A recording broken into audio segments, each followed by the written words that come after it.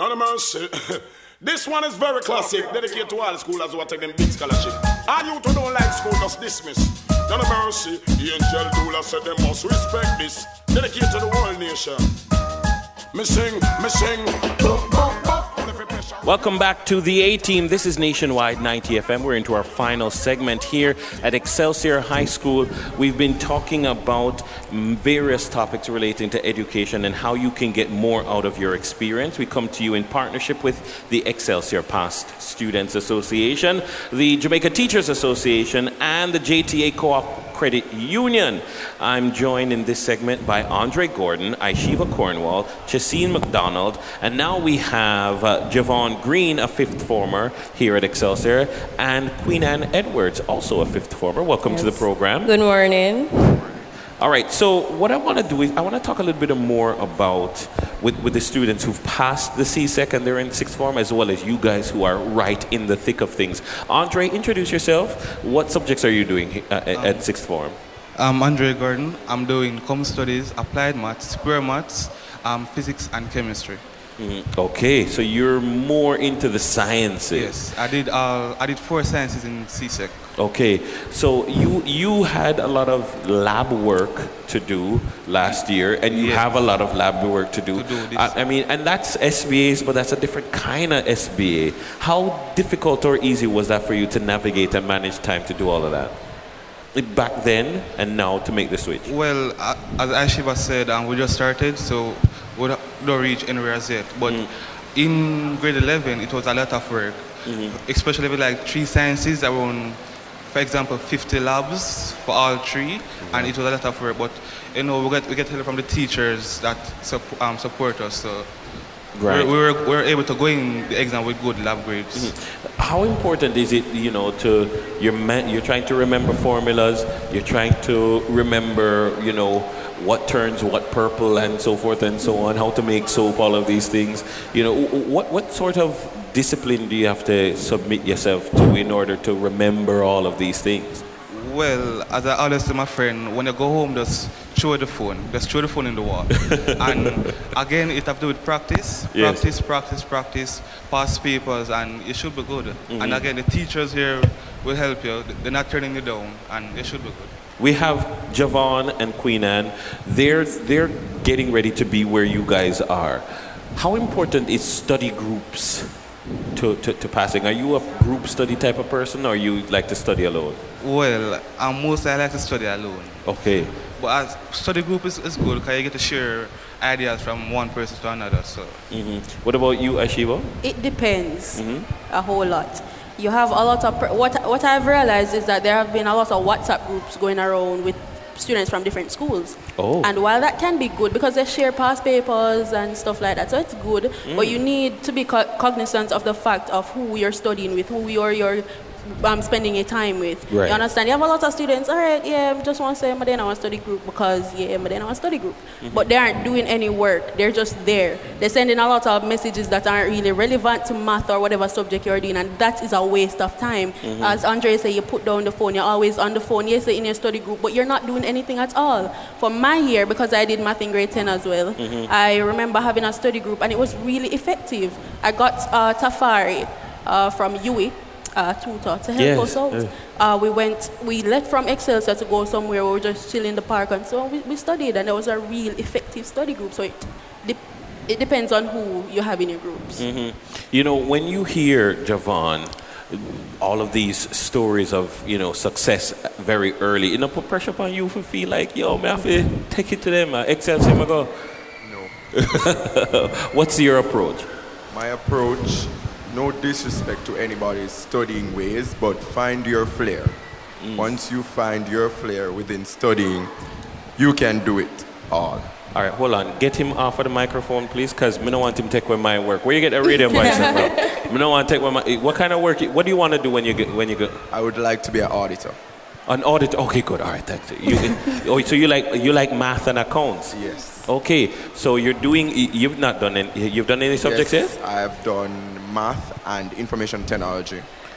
So the distinction so, in both. So hold on, everybody does subjects early at, at Excelsior. It's like a early, it's yes, an early, it's yes, a culture of doing the subjects early. I'm going to throw out a question. I'm going to throw out a question to, to, to, to see who can get this one.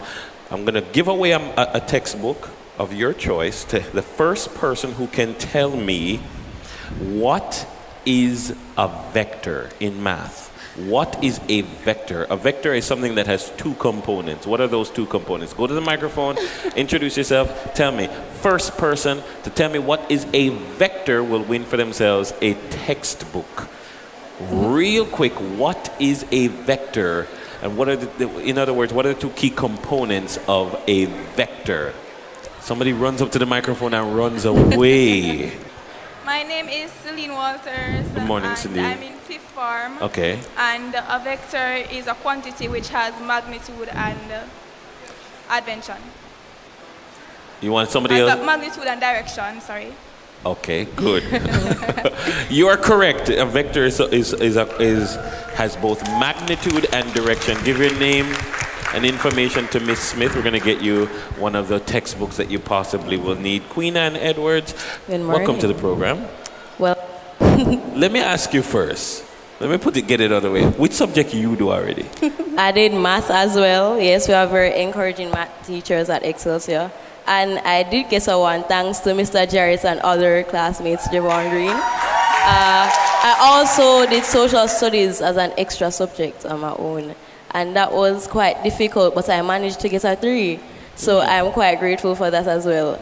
And I agree with Aishiva and Javon when they say it does depends on how you study because not everyone is disciplined and can be in a group on the media on the phone and stick to studying. Yes. It is very it's a very hard thing to do, especially students from this generation on the phone constantly. It's hard. Mm. So, what would you recommend to a person, for instance, listening this subject, this program rather, in another part of the country?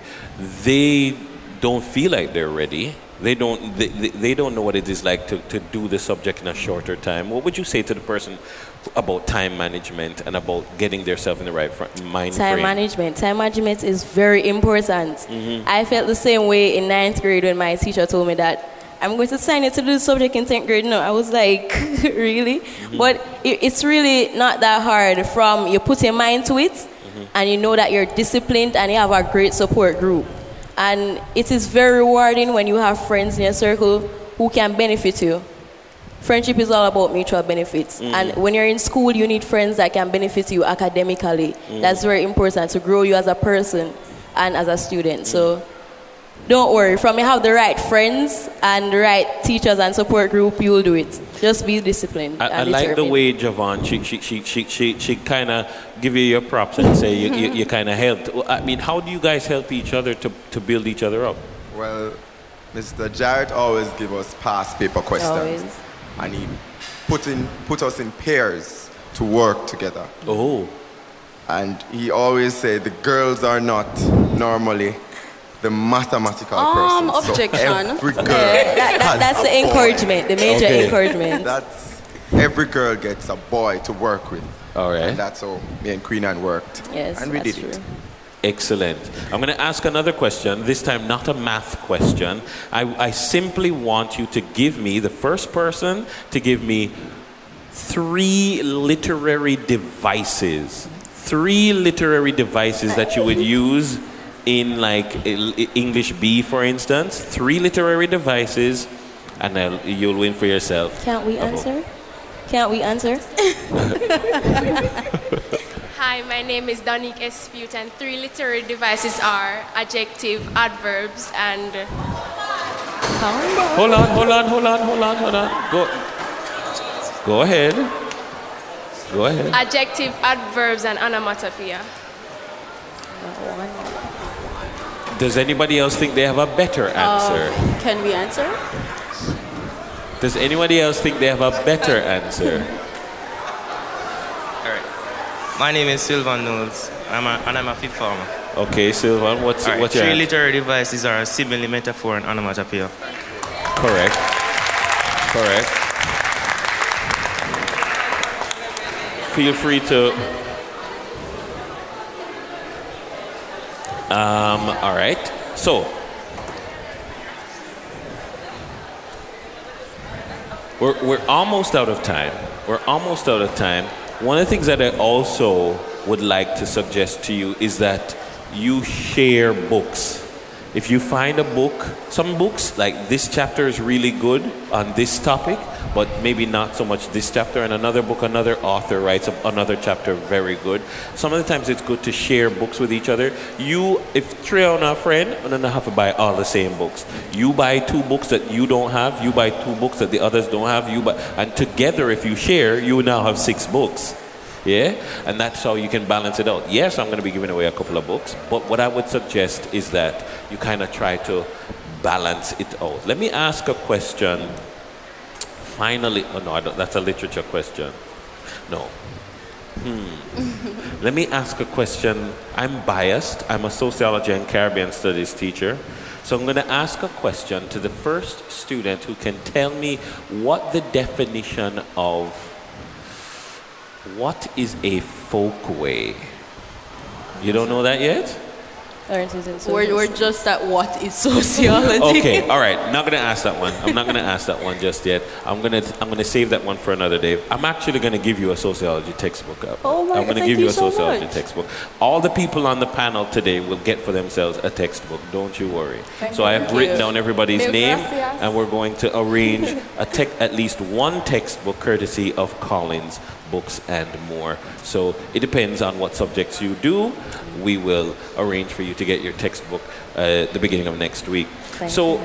finally, we're wrapping up the program, but I'd love to hear, you know, just some things that you would say. What was one of the main things that you learned coming out of the exams last year? I'm going to ask the science student first to give the science student some guidance. Stay away from this or don't write this this way. What have been some things that you learned maybe coming out of physics?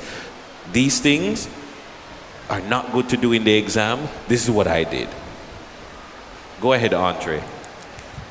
Well, um, all right. At first, um, I'm doing four science subjects. Uh, well, doing a lot of um, subjects in grade 11. For CAPE, um, I think that I learned from CXC that it's a lot of stress, and um, I will carry that to the CAPE level to know that I'll, I should prepare myself at an early age. And for, for the science subject, for the labs, I think that they should consult the teachers first before they write the labs so that they could get the full grades for each um, labs. Right, Okay. because sometimes I don't think they, they, they allow um, the redo of the labs. So I think they should consult teachers, friends, right, and um, so they, they could get a good lab grade. Okay. What about you, Chasine? Well, I did one science. Mhm. I did IT. But no, well, uh, well I'm asked for the science students already. No, Yeah, you, you, you can speak from I your own did, experience. uh, I did both Spanish and French. Okay. Yes, okay. I love the languages. Clearly, So, um, so what it is, uh, advice that I would give for the languages is practice. Practice speaking, practice writing. It's very, very important. What about y- like using technology, like or YouTube, Yes, like you can watching use YouTube? Duolingo. That's one site that you can practice. It's like a game, but it helps you to learn. Um, What's it called? Duolingo. D-U-O-L-I-N-G-O. Okay. So that's an app that you can learn any language that you want. So I, it helped me out with both Spanish and French. Okay. Yes, and our teachers here for, from the modern language department, they are really, really good. Big up to Miss Clark. She worked exceptionally hard with us for Spanish. We're here Saturday from Saturday, evening after evening, and we did, we did her proud.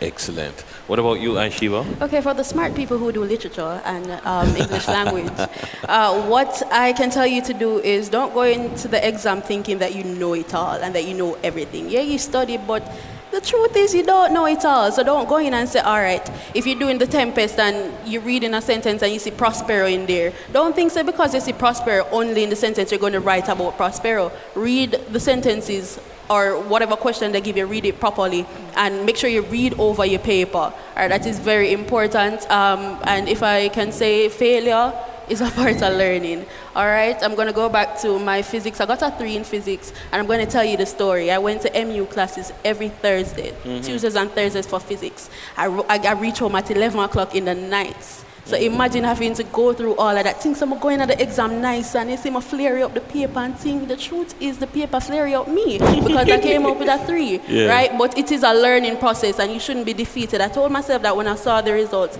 it's either you're going to sit down and feel sorry for yourself.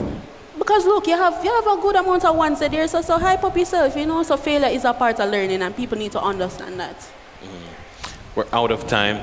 Thank you very much, Javon. Thank you very much, Queen Anne, Chasine, Aishiva, Andre, also to Jonah, Victoria, uh, and Davari. Thank you very much to all the people working behind the scenes. Thank you very much to Darren Fraser and Principal Bromfield. Miss Rose, you've been an absolute treasure. Thank you very much to you, the listeners, and of course to the Excelsior Past Students Association, to the Jamaica Teachers Association, and the JTA Co-op Credit Union. This has been the A Team. Thank you very much to Kimon Smith working hard behind the scenes, and of course, Jermaine Compass, my technical operator. I'm Dennis Brooks saying, Shalom, take care.